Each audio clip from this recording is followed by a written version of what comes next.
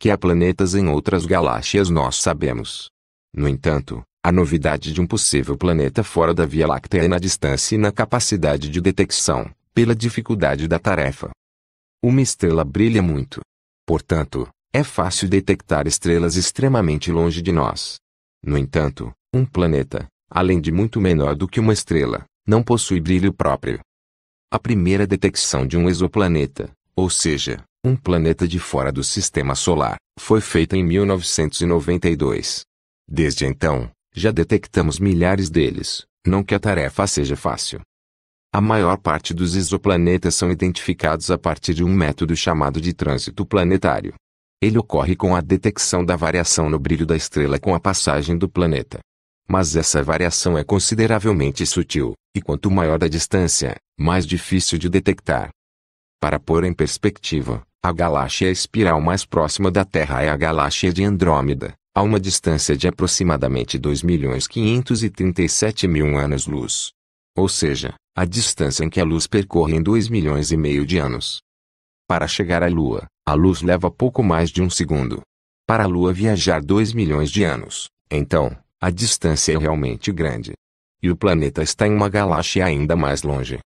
Em um estudo, publicado como preprint no arquivo e ainda não revisado por pares, a equipe descreve a descoberta e o candidato a primeiro planeta extragaláctico já encontrado.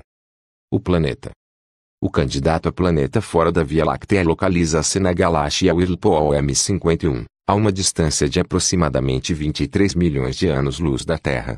Em um mapa celeste, ela localiza-se próximo à constelação de Ursa Maior. Os cientistas acreditam que o planeta, batizado de M51.L.S.1b possui um tamanho médio, um pouco menor do que Saturno. O sistema de estrelas é binário e provavelmente, orbita suas estrelas a uma distância de aproximadamente 10 vezes a distância entre a Terra e o Sol. Isso equivale mais ou menos à distância de Saturno até o Sol. Péssimas condições. As condições do planeta não são muito boas, no entanto, em breve ele deverá morrer. Foi justamente a situação na qual ele se encontra que entregou sua posição e sua existência. Seu sistema binário é composto por uma estrela e possivelmente um buraco negro ou estrela de nêutrons.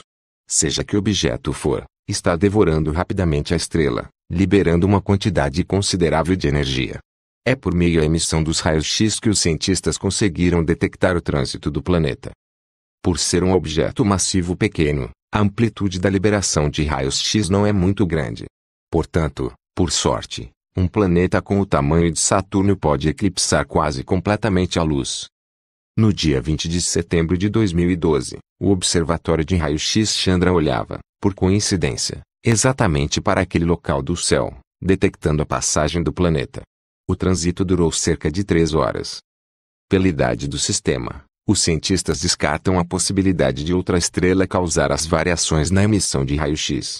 Portanto, é mais plausível que seja de fato um planeta. O estudo, ainda não revisado por pares, foi publicado no arquivo com informações de astronomia e pis.org.